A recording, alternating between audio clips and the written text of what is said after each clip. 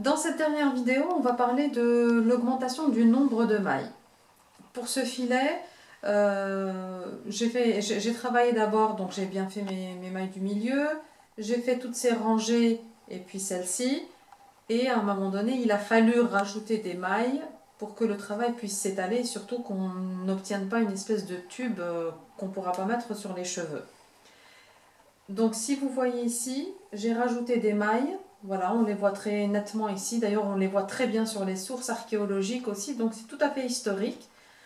Euh, sauf que je trouve pas ça très très beau. Je trouve que là où il n'y a pas de, rajout de mailles, bah, c'est beaucoup plus joli.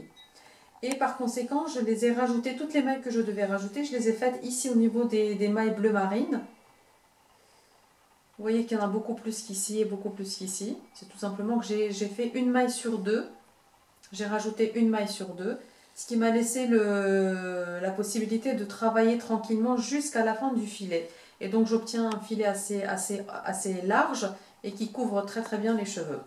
Donc c'est à vous de voir, soit, soit vous rajoutez les mailles sur cette partie ou bien sur, euh, sur la partie bleu marine si vous voulez faire du, filet euh, avec deux gabarits différents. Et donc on va voir ensemble comment euh, faire des augmentations du nombre de mailles.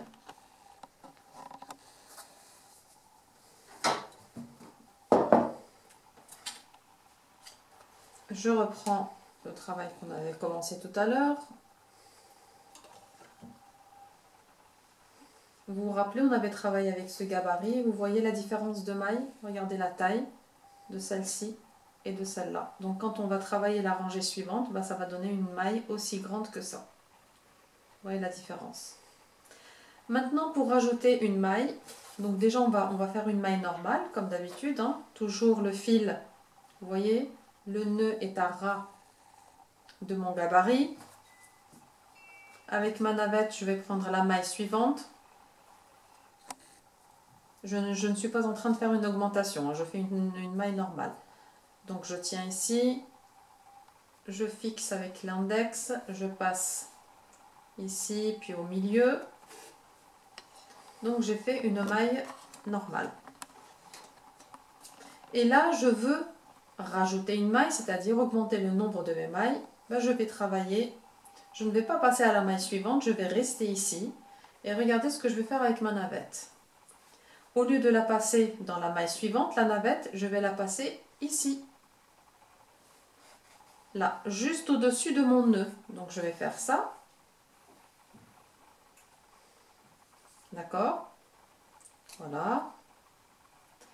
Je tiens toujours avec mon pouce je passe le fil, je le fixe avec mon index. Vous avez toujours les deux fils de tout à l'heure, donc vous repassez tout simplement dedans. Une fois, une deuxième fois, je tire mon fil et regardez ce qu'on obtient. On va obtenir une maille supplémentaire qui se trouve ici, vous voyez? Et du coup, quand on va travailler le rang suivant, on va avoir cette maille, cette maille, mais on aura celle-ci qui sera supplémentaire, qui va nous faire une augmentation. On, on refait un deuxième essai. Je travaille celle-ci normalement, d'accord? Voilà, donc je tiens.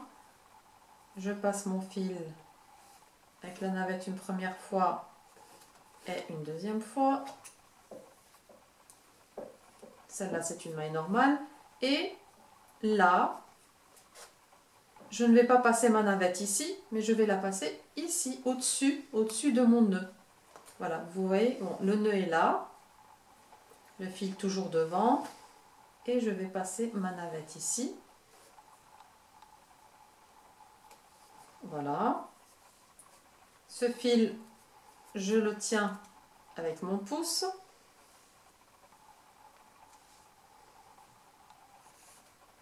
Une première fois,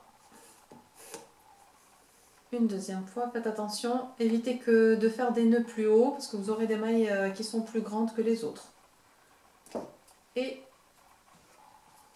le nœud doit se faire toujours ici au même endroit. Donc si on tire, ben voilà. Vous voyez, donc une maille normale, une augmentation et une augmentation.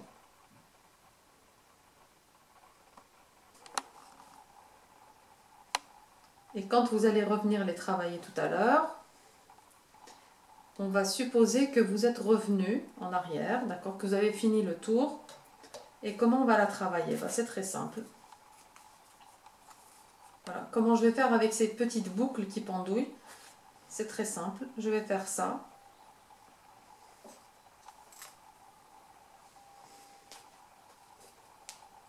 Voilà. Une, deux. La maille normale est là. Je vais la travailler comme d'habitude. Une fois, deux fois. Faites attention de ne pas embarquer d'autres mailles dans votre nœud.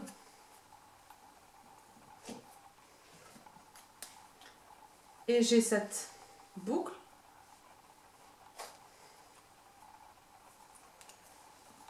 Mon fil est toujours devant. Je passe, regardez, dans la petite boucle, comme si c'était une maille normale. Une fois, deux fois, je fais mon nœud Et voilà ce qu'on obtient. Voilà. Et donc on obtient la même chose qu'ici. Mais vous allez la voir quand votre filet sera terminé. On verra à quel endroit précisément vous avez fait des rajouts de mailles parce que vous avez tout simplement le, fil qui est doublé ici. Voilà, donc euh, je vous souhaite ben, de bien travailler et surtout n'hésitez pas à aller voir notre site internet Cité d'antan, euh, notre page Facebook. N'hésitez pas à liker, à partager et si vous aimez nos travaux, surtout vous nous laissez des commentaires. Euh, n'hésitez pas à nous, à nous poser des questions, à échanger avec nous et puis vive le 13e siècle.